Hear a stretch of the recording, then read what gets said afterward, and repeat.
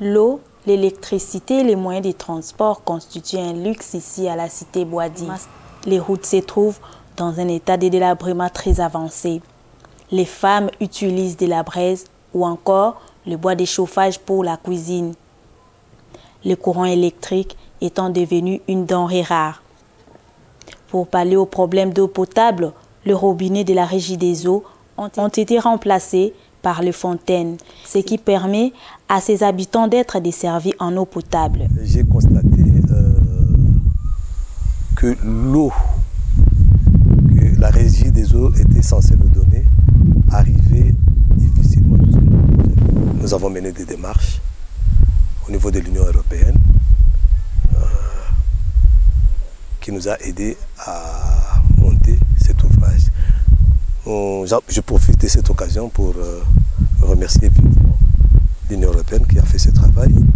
Cet acte redonne sourire et satisfaction aux habitants de cette cité.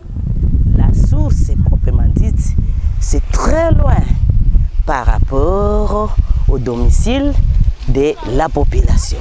C'est ainsi que cet ONG a résolu le problème de la population. C'est ainsi que vraiment nous sommes très très très contents, satisfaits de la façon que cette ONG a songé au moins à satisfaire la population boadi. Et puis cette eau est vraiment potable. Comment fonctionnent ces fontaines? Ces moteurs à mazout pompent l'eau de la nappe souterraine qui approvisionne les grandes citernes d'eau de 18 mètres cubes, explique Elias Kadima, responsable du site. Bien. Euh, à ma gauche, là-bas, il y a une source d'eau souterraine. Donc, on a capté l'eau d'une nappe phréatique qui se retrouve là. On l'a concentrée dans une petite bâche. Et puis, on l'a ramenée jusqu'ici derrière moi, dans une bâche de 20 mètres cubes. Donc, là, c'est l'apaisanteur qui, qui, qui l'a fait. Et de là, nous prenons cette eau grâce au moteur et nous la faisons monter juste au château d'eau que nous avons vu là. Avec quatre fontaines, seulement 30% de la population est desservie en eau potable. Les responsables pensent élargir les réseaux de distribution d'eau.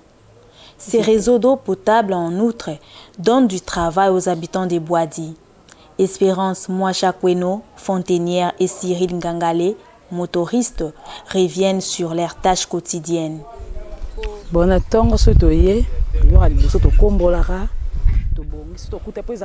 Quand je viens chaque matin, je nettoie d'abord l'environnement. Ensuite, je commence à remplir l'eau dans le récipient de mes clients, selon l'ordre d'arrivée. Je vends un bidon de 25 litres à 200 francs congolais. C'est mon boulot de tous les jours.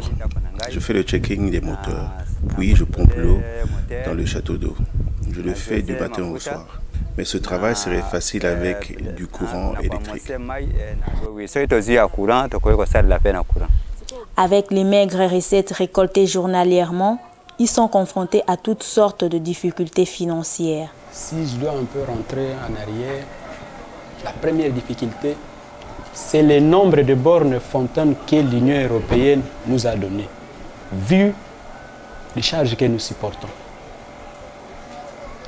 Quatre bornes fontaines, payer plus de 15 personnes ou 15 personnes pour, pour 30 jours, ce n'est pas facile. Comment faire pour avoir cette enveloppe pour pallier aux diverses dépenses En plus des difficultés d'eau et d'électricité, la cité des Bois-Dits, avec son sol sablonné, est menacée par plusieurs têtes d'érosion. Les habitants des Bois-Dits souhaitent voir les cinq chantiers de la République être effectifs aussi dans leur cité, qui fait partie de la capitale congolaise.